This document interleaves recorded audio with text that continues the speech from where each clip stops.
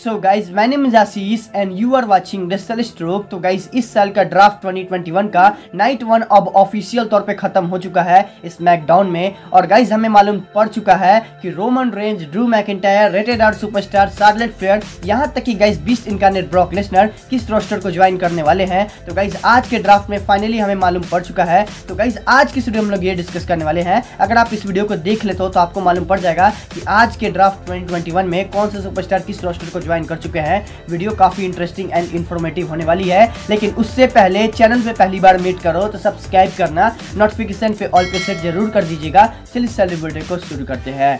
अब देखो भाई, पिछले साल का जो हमें ड्राफ्ट देखने को मिलता है, वो हमें राउंड वाइज देखने को मिला था। लेकिन गाइज़ ये इस साल का जो ड्राफ्ट हमें देखने को मिलता है विदाउट राउंड वाइज देखने को मिलता है। लेकिन फिर भी गाइज़ अगर हम लोग राउंड वाइज समझेंगे तो ज़्यादा बेटर हमें समझ में आएगा। तो गाइज़ स्मैकडाउन की शुरुआत और कोई नहीं, बल्कि गाइज़ डब्ल्यू के official Adam Pearce and Sonya Deville करती हैं। और गाइज़ सबसे पहले Sonya Deville Friday Night SmackDown के लिए रहती हैं और मंडे नाइट रो के लिए एडम पियर्स रहते हैं। और गाइज़ सोनिया डिविल मतलब कहती हैं कि स्मैकडाउन को और कोई नहीं, बल्कि गाइज़ स्मैकडाउन का जो पहला पिक है। Head of the table and current Universal champion Roman Reigns यानी कि गाइज़ रोमन रेंज अपना यूनिवर्सल चैंपियनशिप के साथ फ्राइडे नाइट स्मैकडाउन में ही रहेंगे। और गाइज़ ज़ाहिर सी बात है कि जब यूनिवर्सल चैंपियनशिप अगर स्मैकडाउन में जाएगा तो डब्ल्यू डब्ल्यू चैंपियनशिप तो मंडे नाइट रो में आएगा ही आएगा ना? तो गाइज़ बिगी अपना डब्ल्यू डब्ल्यू चैंपियनशिप के साथ मंडे नाइट रो में ही रहेंगे। और गाइस थर्ड पिक की बात की जाए, वो भी राउंड वन की तो guys Charlotte Flair Monday Night Raw से रॉ वुमेन्स चैंपियनशिप के साथ स्मैकडाउन रोस्टर को ज्वाइन कर चुकी है। अब गाइस हमें देखना होगा कि रॉ वुमेन्स चैंपियनशिप रॉ से कैसे स्मैकडाउन में आता है? और गाइज़ इसी राउंड में लास्ट पिक की बात की जाए जो कि रॉ सेलेक्ट करती है बियंका ब्लेयर को, यानी कि गाइज़ वो वुमेन जो कि रेसल रेसलमेनिया 37 को हेडलाइन करती हैं और वो अब ऑफिशियल तौर पे मंडे नाइट रॉ का पार्ट हो चुकी है। तो गाइज़ राउंड वन के रिज़ल्ट की बात की जाए तो जैसा कि अभी आप इमेज में देख रहे हो, मुझे आपको बताने की ज़रूरत नहीं है। और गाइज़ राउंड टू की बात की जाए जो कि हमें एक मैच के बाद देखने को मिलता है और गाइज़ राउंड वन में फ्राइडे नाइट स्मैकडाउन सेलेक्ट करती है सबसे पहले, यानी कि आप कह सकते हो कि सोनिया डेविल सेलेक्ट करती है ड्रू मैकिटायर को। और guys former two time W W champion SmackDown के रोस्टर को अब ऑफिशियल तौर पे पार्ट हो चुके हैं। और वहीं पे guys Monday Night Raw Drew McIntyre के बदले आर के ब्रो को लेती है। यानी कि गाइज़ जो हमारे current Raw tag team champion है आर के ब्रो अब वो मंडे नाइट रो के पार्ट हो चुके हैं। और गाइस थर्ड पिक की बात की जाए, जो कि स्मैकडाउन पिक करती है आर के ब्रो के बदले, और गाइस न्यू डे अब ऑफिशियल तौर पे मंडे नाइट रॉ से स्मैकडाउन रोस्टर के पार्ट हो चुके हैं। और गाइज़ राउंड टू की लास्ट पिक की बात की जाए, जो कि काफ़ी बहुत बड़ी पिक है। और गाइज़ रेटेड आर सुपरस्टार अब मंडे नाइट के पार्ट हो चुके हैं। अब वो हमें स्मैकडाउन में कभी भी नज़र नहीं आएँगे। तो गाइज़ राउंड टू का कुछ यही रिज़ल्ट है, जो की अभी आप स्क्रीन पे देख रहे हो।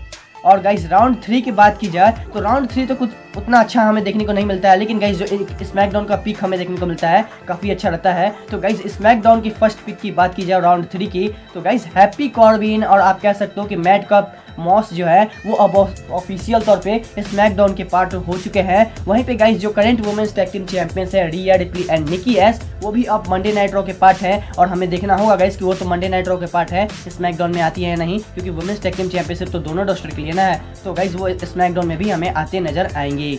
और गाइस इसी में थर्ड राउंड में थर्ड पिक की बात की जाए स्मैकडाउन के लिए तो गाइस स्मैकडाउन एनएक्सटी के बिग फैक्शन हिट रो को सेलेक्ट करती है। और गाइस हिट रो अब एनएक्सटी के पार्ट नहीं है, बल्कि गाइस वो अब हमारे स्मैकडाउन के रोस्टर के पार्ट हो चुके हैं। और गाइस जैसा कि मैंने आपको एक वीडियो में बताया था कि बिग फैक्शन का डेब्यू होने वाला है मेन रोस्टर में, और गाइस ये बिग फैक्शन हिट रो था, जैसा कि मैंने आपको बताया था। और हिट रो अब ऑफिशियल तौर पर आप कह सकते हो कि स्मैकडाउन रोस्टर के पार्ट हो चुके हैं। और इसी राउंड में, यानी कि राउंड थ्री में लास्ट पिक की बात की जाए तो किट बियर कैट ली जो है, वो अब ऑफिशियल तौर पे मंडे नाइट रोस्टर के ज्वाइन हो चुके हैं और उनका जो हमें लिमिटलेस वाला सिस्टम है, वो हमें मंडे नाइट रो में ही देखने को मिलेगा फ्राइडे नाइट स्मैकडाउन में नहीं। और गाइस ड्राफ्ट की नाइट वन की और लास्ट राउंड की बात की जाए तो गाइज़ सोनिया डेविल सेलेक्ट करती है फ्राइडे नाइट स्मैकडाउन के लिए नेओमी को, और जब वो प्रोनाउंस करती है नेओमी का नाम तो उनका जो, आप कह सकते हो कि जो फेस का हमें एक्सप्रेशन देखने को मिलता है, वो काफ़ी दुख भरी बोली बोलती है कि नेओमी ज्वाइन करने वाली है स्मैकडाउन रोस्टर को।